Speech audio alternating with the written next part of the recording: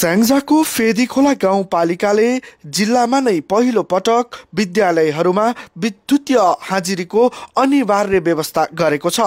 नेपालको संविधान दुई हजार बहत्तरले माध्यमिक विद्यालय शिक्षा सम्बन्धी सम्पूर्ण जिम्मेवारी स्थानीय तहलाई दिएको छ। सोही अनुरूप फेदीखोला गाउँ कार्यपालिकाले शैक्षिक प्रशासनलाई सुदृढीकरण गर्दै थप मर्यादित बनाउन गाउँपालिकाभित्रका सबै माध्यमिक विद्यालय र दुईवटा आधारभूत विद्यालयमा विद्युतीय हाजिरीको व्यवस्था गरेको हो।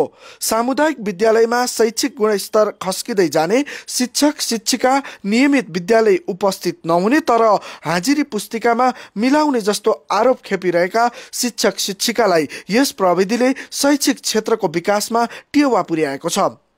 विद्युतीय हाजिरी जडान गरिएका विद्यालयले दैनिक दुई पटक शिक्षक शिक्षिकाको हाजिरी तथ्याङ्क राख्नेछ र मासिक रूपमा गाउँपालिकालाई बुझाउनेछ। यो प्रविधिको अभ्याससँगै विद्यालयमा एकरूपता आएको छ भने शिक्षक शिक्षिका अभिभावक र विद्यार्थीहरू पनि समयको महत्त्वसहित अनुशासित बन्दै गएका छन्। राम्रो भयो। शिक्षक साथीहरू सबै चाहिँ पङ्क्चर हुनुहुन्छ। त्यसमा पनि अझ चाहिँ दसैँ बजे चाहिँ इन भइसक्नु पर्ने चार बजीभन्दा आउट हुन नपाइने। र एउटा चाहिँ पठनमा चाहिँ राम्रो किसिमको एउटा चाहिँ लगाव चाहिँ सिर्जना भयो।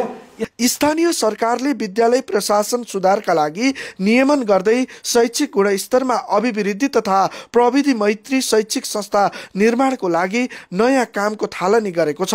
विभिन्न विषयगत विज्ञ र सरोकारवाला व्यक्तिहरूसँग वृहत छलफल गरेर गाउँ सभा मार्फत छिट्टै स्थानीय शिक्षा ऐन पारित गर्ने तयारीमा रहेको गाउँ कार्यपालिकाले बताएको छ। कार्यालयका अनुसार यस वर्ष यो गाउँपालिकाले सामुदायिक विद्यालयको सुधारमा डिस्टेन्स डिस्टेन्ट लर्निङ सेन्टर र ई लाइब्रेरीको निर्माण गर्दैछ। यस्ता क्रियाकलापसहित स्थानीय सरकारले चासो दिने हो भने सामुदायिक विद्यालयलाई हेर्ने अभिभावकको नजर अझ विश्वासिलो हुने थियो। नेपाल टेलिभिजनका लागि सुशील सुवेदीको रिपोर्ट स्याङ्जा।